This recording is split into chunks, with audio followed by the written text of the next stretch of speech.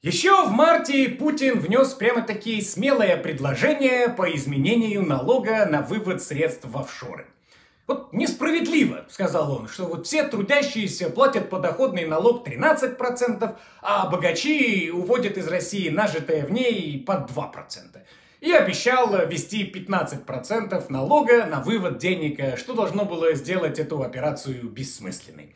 И таким путем принудить этих э, самых богачей вкладывать в развитие России, а дополнительные налоговые поступления направить на поддержку семей с детьми и безработных.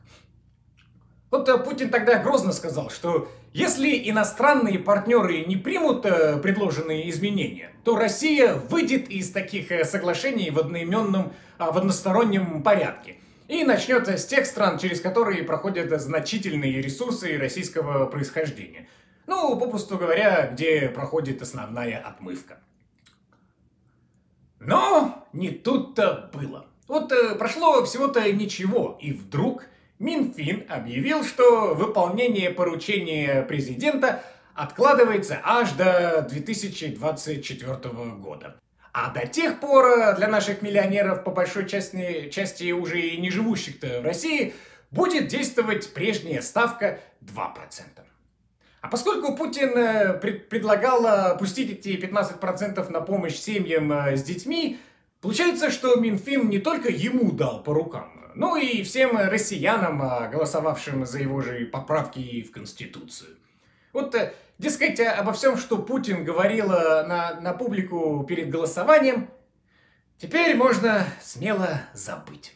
Вот э, если нашему гаранту можно дать по рукам, то нужно будет признать одно из двух.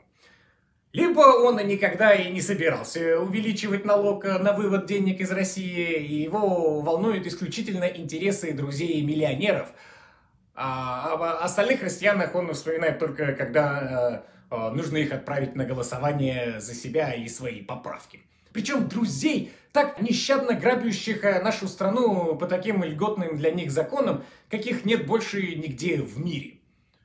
Либо иностранные партнеры по отмывке денег, о которых он говорил в марте, а именно Кипр, Мальта, Люксембург э, и другие, не хотят терять свой процент с проходящих через них российских финансовых потоков – и тоже имеют возможность дать э, по рукам нашим властям э, и не допустить, чтобы их кинули в одностороннем порядке.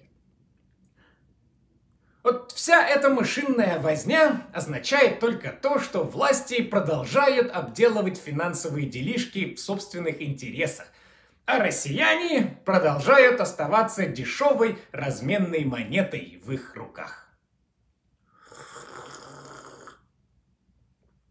Подписывайтесь на мой канал, ставьте лайки и оставляйте свои комментарии. И тогда победим!